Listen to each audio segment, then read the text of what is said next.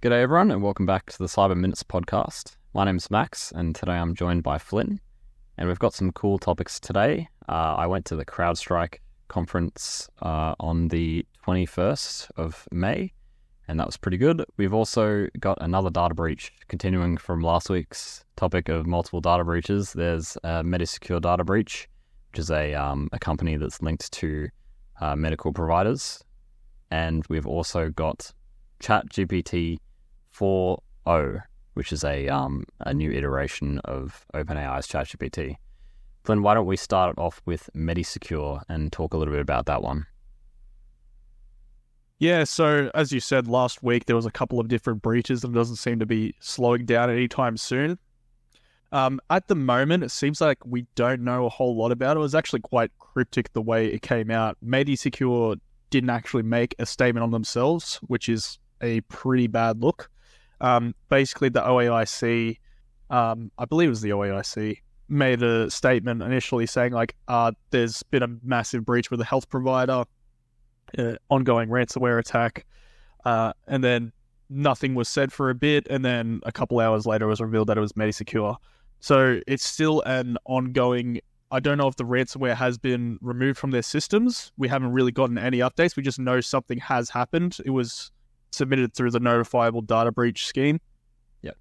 Um, but yeah, the the way that it was phrased by the OAIC makes it sound like it could be a pretty big deal. Um, we continue to see that you know health providers are just such a massive target for cyber attacks, particularly ransomware, because of how uh, valuable PHI data is. Um, and it doesn't seem to be slowing down anytime soon. Yeah, 100%. The Department of Home Affairs made a statement saying that a Medisecure database containing the personal and limited health information of individuals relating to prescriptions, as well as healthcare provider information, has been affected by this cybersecurity incident. So, it yeah, it sounds like out of the data they've lost, it could be yeah fairly sensitive, which is interesting. You did bring up just before the podcast, Flynn, as well. It's an interesting one having that the healthcare provider information's been lost as well. Yeah, definitely. So with that being breached, it's something that we may not see the effects of immediately. It's something that if it's it depends on what the information is, it's quite cryptic with how they've said it. But if that's sensitive information that could, you know, lead to a further breach down the line, that's potentially really, really bad. Um, I think as far as we know, they also said that it's a third party um, breach, so a supply chain attack, as we know, that's so common. Um, they haven't released who was the third party, so who knows if that's actually the case or not. Yeah. Um, but yeah, it's something that we may not feel the effects of immediately. Yeah, it's hard to know what the extent of what is happening right now is, and we'll update when we do get any um information about that. Yep. But um, for the meantime, you know, do your regular due diligence with um with fraud stuff. As soon as you know your suspected fraud is going on, go to IDCARE. That's a massive thing. It's something that actually a lot of like when you talk to the police and stuff like that, they don't mention that IDCARE is a thing in Australia. Um, if you are uh, facing identity fraud, go immediately to IDCARE. They will help you out a lot with, um, you know, basically getting new stuff, help uh, helping you get like a new driver's license and whatnot. Um, and yeah, your due diligence. Be careful. Yeah, no, uh, totally agree.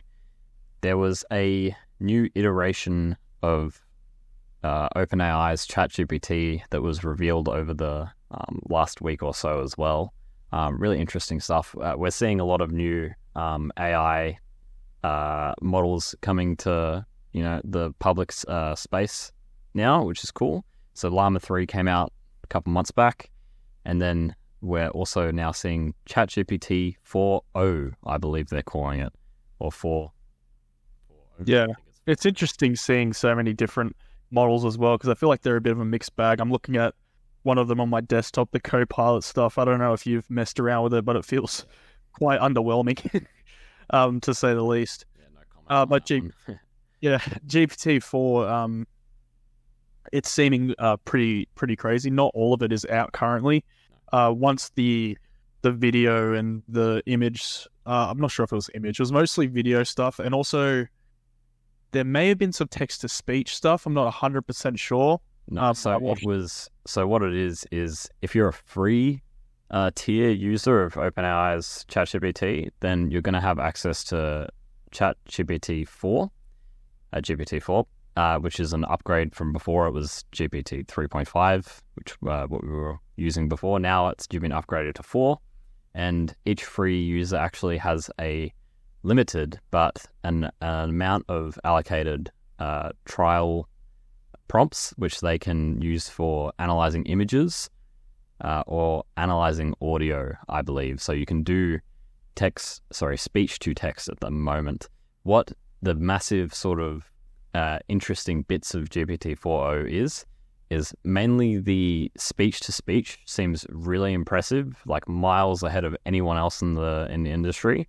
Uh, it sounds really fluid. If anyone hasn't seen the demo, it's super fluid. It sounds pretty realistic. It has, you know, a bit of sarcasm, a bit of wit, a bit of humor in the way it responds to you, um, and it's it's very fast as well. Uh, OpenAI have come out and said, as well as uh, analyzing video, I believe was something that it was it was able to do, or, or also generating video too. So Yeah. there's some pretty interesting kind of developments going on there. But um, yeah, Yeah, the the generating video thing is going to be very very scary when that becomes a more publicly available thing.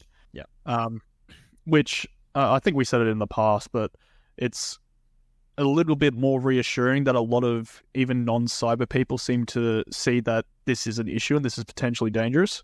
Yep. Um, but you know w- what can you do? OpenAI has shown that they're pretty like ahead of the game, and the jumps in AI just don't even seem to be slowing down anytime soon. And um, who knows where we're going to be in five years' time? Yeah, I totally agree. Uh, there's also I just wanted to bring up something. So I went to the CrowdStrike uh, Sydney conference. Um, CrowdTour is the name of it on uh, Tuesday, the 21st of May. And I, I thought it was quite a good conference. It was good for networking, and there were a few really great standout speeches as well that were there, some keynotes. One by Jana, Jana or Jana. Um, hers was on threat hunting and advanced persistent threats, specifically. I I think it was um, yeah, so it was called Scattered Spider. So it was a pretty interesting um, case study, and really, uh, the way that Jana presented it was really excellent. So yeah, shout out to her. I do just want to bring up though, and CrowdStrike generally do a really good job at their conferences. There was a bit something that I noticed was every single keynote, every single one, they all brought up uh, generative AI, which is you know fair enough to bring it up. But then they also would go on about a fifteen to twenty minute spiel about what generative AI is and you know the ramifications of it and how you know different it is. And they would go on for twenty minutes to explain it for every single speech that there was. And you know it might be fair enough to to give a little bit of an overview. But by the end of the day, I literally heard the exact same thing on generative AI about four or five different times before that. And they even acknowledged it as well. So they would say, in some of the speeches, they would say, oh, you know, obviously the buzzword at the moment is generative AI and you've all heard about it.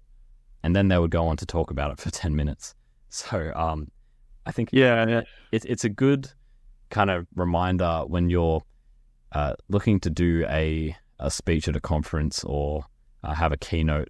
Um, while it's awesome to bring up the brand new things in security or in the tech sphere at the time, maybe it's also good to be aware that everyone else might be bringing up the same exact same thing, and uh, you know, everyone who is at CrowdStrike CrowdTour probably has an understanding a little bit of um, of generative AI, considering most of the people that would work in tech, and it, it doesn't really make sense to yeah talk about it for 25 minutes every single keynote. Yeah, I, that was a problem I've seen in the past as well. I won't name the specific conference, but there was one that I went to that was the title was something like, you know, it's the blessings and the downfalls of AI or something like that. So it made it sound like it was going to be, you know, an actual comparative presentation talking about the different benefits and the thing. But we went there and it was just, you know, a day one description of what ChatGPT is. Um, I think we're past the point of you know, saying, "Oh, ChatGPT can be a great tool that you know can help give you different information." Like we're kind of past that point. Um, Well, we're kind of past explaining what generative AI is, I believe. I think my point that I was trying to make is yeah, we're past explaining what generative AI is, Yeah. at least at technology conferences. We know what it is. Yeah. Instead of explaining it every time, you can just mention this uses generative AI, this is how it does that. Great. But uh, we probably don't need a whole sort of backstory on it. Yeah, and of course it depends on your audience as well. Like if you're doing training to, you know, a particular subgroup of staff, it might be more valuable to actually explain what it is. But yeah, as you said, if you're at a tech conference for CrowdStrike, um, it's probably not necessary. I don't think so. Thanks for listening. Just a reminder that the Cyber Minutes podcast is for educational purposes only. The views expressed by hosts and guests are their own, not necessarily their employers. Advice discussed is general advice. We promote ethical discussions, not illegal activities. Have a cybersecurity question? Send an email to cyberminutespodcast at gmail.com as we'd love to answer it. Stay cyber safe.